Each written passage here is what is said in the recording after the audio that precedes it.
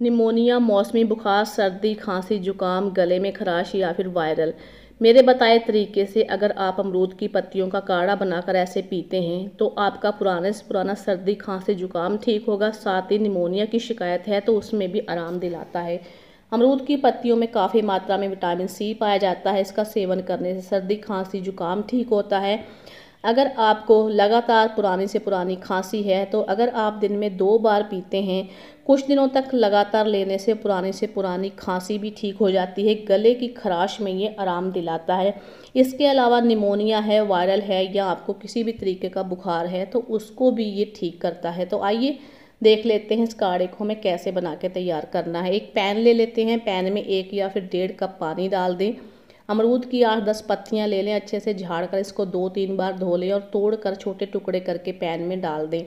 Lemon grass की तीन चार लीव ले लें, अच्छे से झाड़ कर इसको दो तीन बार धो लें। ये भी बहुत अच्छी हुई होती है, इससे काढ़े का टेस्ट भी बहुत अच्छा आता है और ये बहुत फ़ायदा करती है। चाय में आप इसे रोज़ाना डालकर पिए। तो चाय का टेस्ट तो बढ़ ही जाता है वेट लूज़ के लिए बहुत फ़ायदेमंद होती है। तीन चार लीव मैंने यहाँ पे लेमन ग्रास की ले ली है। अब गैस पर रख देते हैं, दो तीन लौंग ले लें, फूल वाले, एक हरी इलायची ले लें, इसको डाल दें। दो तीन मैंने काले मिर्च डाल दी है और दो से तीन इसमें दालचीनी के टुकड़े डाल दें। अब इसमें हम थोड़ा सा जायफल डालेंगे अगर आपको निमोनिया की शिकायत होती है क्योंकि निमोनिया जो होता है ना, सर्दी की वजह से होता है। अगर आपको मौसम बदलने की वजह से सर्दी रहती है तो आपको निमोनिया की शिकायत होने लगती है। इसमें आपको थोड़ा सा जायफल घिस के डाल देना एक छोटा मैंने जायफल लिया था, जिसको मैंने एक चौथाई हिस्सा उसका ग्रेट करके डाल दिया है। साथ ही अदरक डाल दें, गुड़ डाल दें, यही हमें पाँच सात चीज़ें लेनी हमारे घर में आसानी से मिल जाती हैं। अब आपको इसे 10-12 मिनट के लिए अच्छे से पकाना है, जब तक इसकी हाफ़ क्वांटिटी ना रह जाए।